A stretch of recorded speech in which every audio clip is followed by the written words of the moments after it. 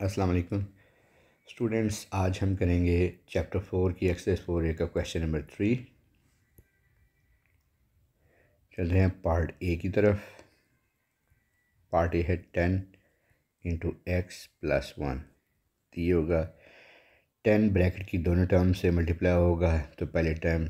Ten, first term से multiply होगा तो ये आएगा टेन एक्स प्लस दूसरी टर्म से मल्टीप्लाई होगा टेन इंटू वन तो ये आ जाएगा ten. Part B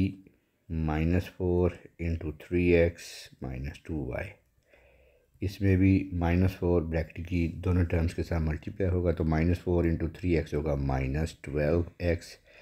minus four into minus two y is equal to plus eight y part C eight x into y minus one equals to eight x multiply होगा Y के साथ तो eight x y minus one से eight x multiply करेंगे तो आएगा eight x part D minus nine x into three y minus two z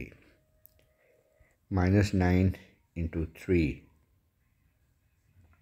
ये आएगा minus twenty seven x y, minus nine multiply होगा माइनस टू थ्री आएगा plus eighteen x z. Part E, two plus three a into five minus eleven b. इसे simplify करेंगे तो brackets को आप खोलेंगे तो थ्री मल्टीप्लाई होगा फाइव से fifteen a. Minus 33AB. Part F, minus 5 minus 3C bracket 2D plus 3E bracket close. Minus three c को मल्टीप्लाई करेंगे थ्री इंटू टू तो ये आएगा six c d minus three into plus three minus nine c e part G